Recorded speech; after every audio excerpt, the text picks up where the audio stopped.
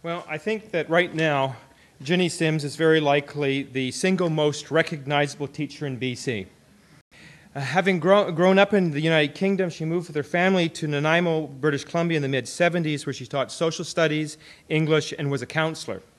Sims was elected president of the Nanaimo District Teachers Association from 1992 to 1995 and since 1998 has served in the BCT, uh, BCTF Executive Committee as a member at large, second vice president, first vice president, and ultimately the president who steered the BCTF through the longest ever province wide teacher strike in BC history. Please join me in welcoming Jinny Sims.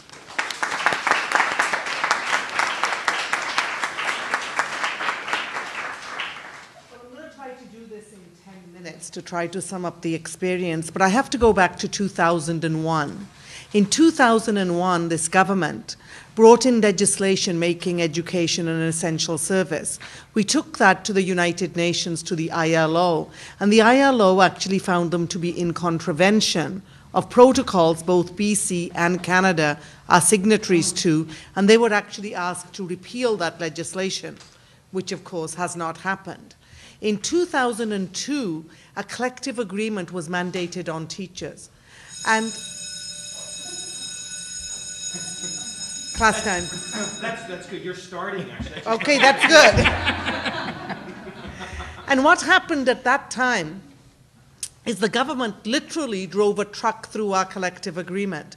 There were provisions in the collective agreement that had gone back decades, even to the times before we became a union, because a lot of locals were able to negotiate working conditions even before we legally had the right to do that. The stripping of our collective agreement was such that even provisions where teachers help students evacuate a building in case of an earthquake were removed. Anything to do with teachers or where teachers could have any kind of a say was just stripped. You need to know that we took that to the courts and we won. That the uh, stripping of the agreement went way beyond the legislation, and that as teachers we had the right to negotiate manner and consequence, that is, our working conditions. So we were, of course, glad we won that. The government appealed it, they lost the appeal. So we thought now we would get to sit down and negotiate something. But the government recalled the legislature, and they passed what the stripper had done they passed it as a law. So then here we are in the next round of bargaining, and after 16 months at the bargaining table, nothing was signed, not even one piece of paper, not even one word was changed. And many of these, and we went to the table with a very, very limited number of uh, objectives because we knew that bargaining was going to be hard. However, we made no progress there, but our teachers made it absolutely clear to us that even though we didn't have the right under liberal law, BC liberal law, to negotiate class size and class composition, that was one of their top priorities. So every time we did surveys, did bargaining objectives, that came out way at the top. And so we had our bargaining objectives, and then we had our working and learning conditions objectives. And we took those to the bargaining table, and the employer said it's against the law for us to discuss these with you. So then we asked for meetings with government because that's the only way we could address our students' learning conditions. And the government refused to come to a meeting. Uh, most of you, if you were reading the paper, heard me say over the summer that I was available throughout the summer. Let's have a meeting, let's get a resolution. And back in March, we stood on the steps of the legislature and announced our three goals and sort of said students' learning conditions had to be addressed, fair and reasonable salary, and our bargaining rights. And of course, none of that happened. We were in bargaining. And, you know, teachers are law abiding citizens on the whole, let me assure you, even though I absolutely believe that teaching is a subversive activity, and that's why we came into it. And um, so, but on the whole, we're law abiding citizens. We play by the rules.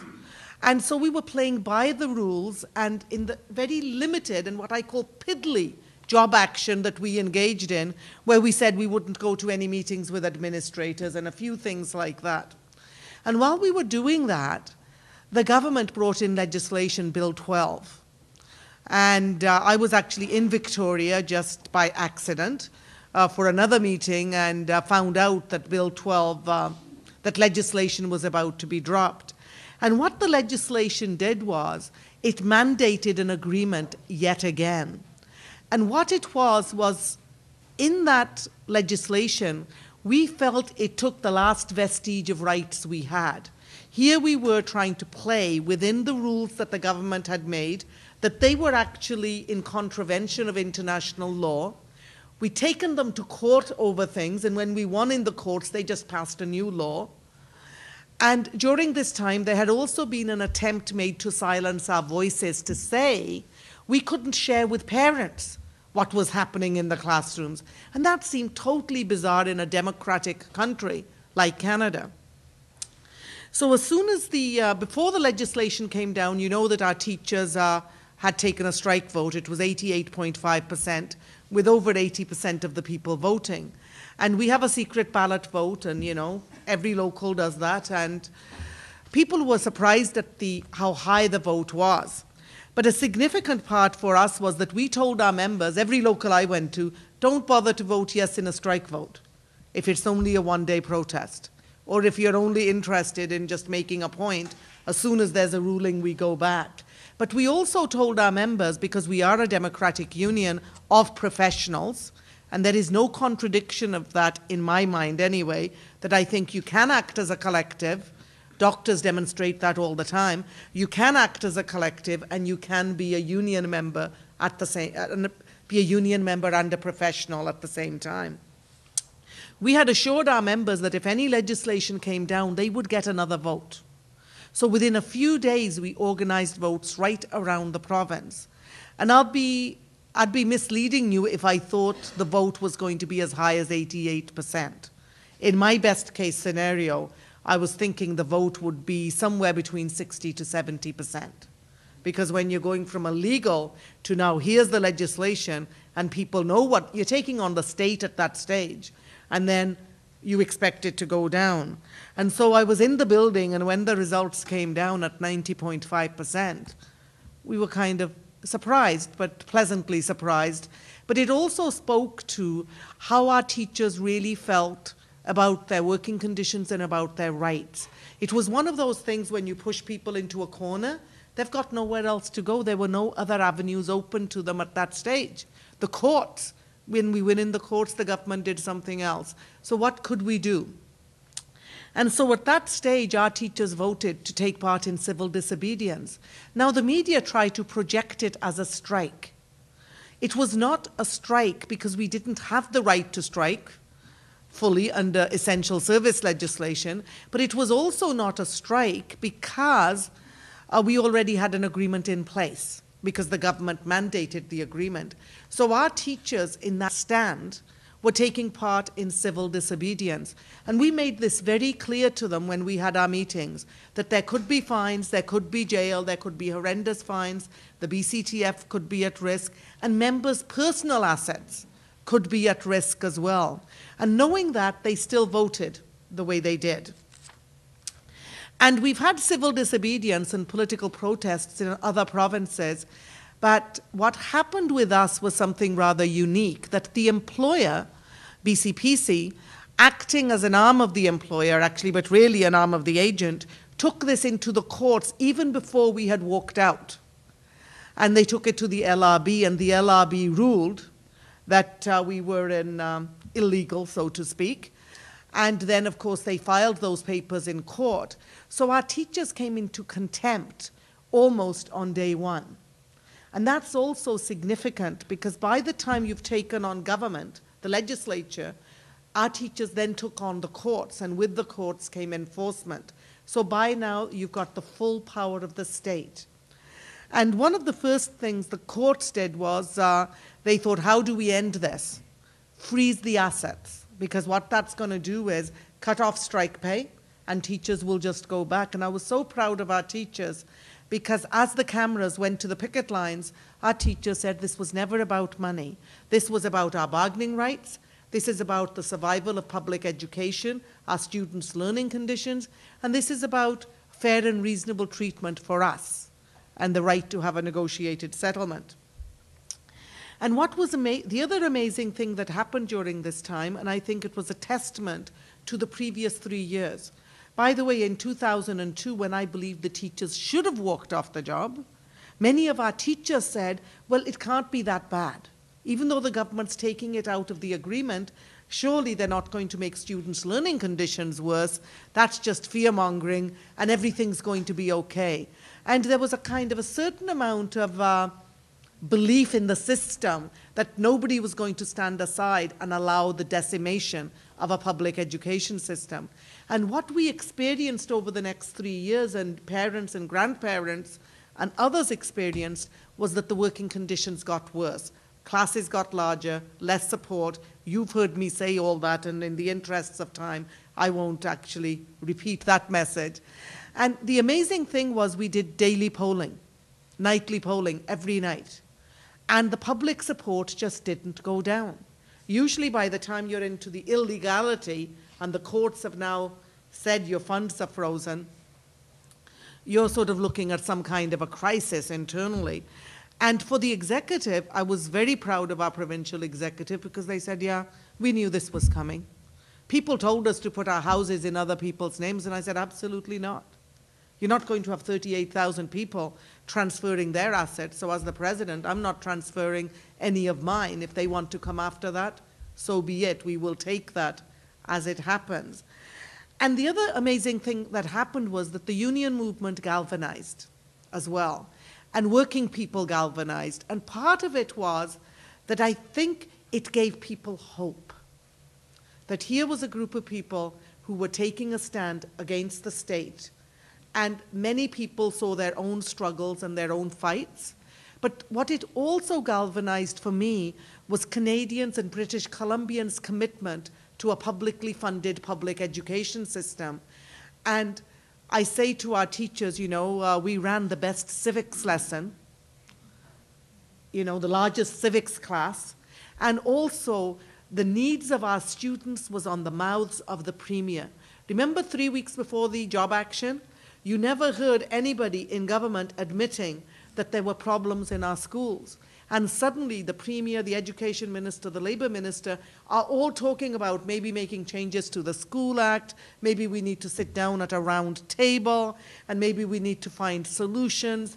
And suddenly, they had to acknowledge that there were problems. And uh, the way that things came to an end is that they wouldn't talk to us, Mr. Ready was brought in as an intermediary. No mediation occurred, no negotiations occurred. There wasn't uh, you go to a table and you present your position. Mr. Ready wrote his recommendations, and the press conference we had was very strategic, and we're glad we had it. We have no regrets. In regular bargaining, when there are blackouts, you could imagine there may have been a question, but we weren't in a bargaining situation, and the media kept wanting to turn it into a bargaining situation. What we were was in civil disobedience, and when you take on the state and you make the state take a step back and address some of the issues, then you have made progress as a civil society. And for our teachers, uh, we did manage to, uh, Mr. Campbell had said, net zero mandate would never be broken. It was inviolate. Well, the net zero mandate got changed. Essential service legislation has no meaning. It's a piece of paper that exists because for two weeks, teachers took their rights and they exercise those rights as citizens in this province. Third, Bill 12 doesn't really exist because the terms and conditions that were mandated in Bill 12 have been changed by Mr. Ready's recommendations. And we were able to get money, only 20 million, into the system to address class size and class composition. And I'm urging the minister every time I speak in the media now, the 150 million they saved because we took our political action should also be left in the system to address student needs right now. Because our students can't wait another year while we sit at another table. And we're taking part in the roundtable in order to affect changes to the School Act because we do need those guarantees. And some people have said to me, you know, but these guarantees exist in the School Act. It says an average of 30 for grades 4 to 12. That's like saying I put Charles's head in uh, the freezer. his feet in the oven and we declare that the temperature on the whole is average. That's how much average class size uh, makes sense in real terms. And so, for us as teachers, we haven't finished. You know, we had this motto kids matter, teachers care, taking a stand. I tell teachers this is not the time to sit down. All we've done is we've repositioned ourselves because we have to continue. We have to hold this government accountable for the commitments they made. And we are going to be meeting with Mr. Ready. We are at the round table. And I can assure you that we're going to use every venue we can find to ensure our students' learning conditions are addressed, our bargaining needs are addressed, and that we get our rights back.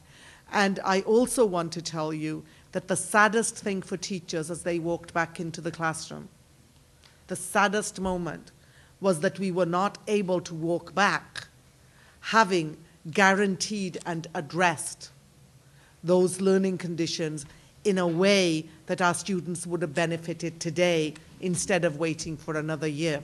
And with that, I hope I've stuck to my time limit. Thank you.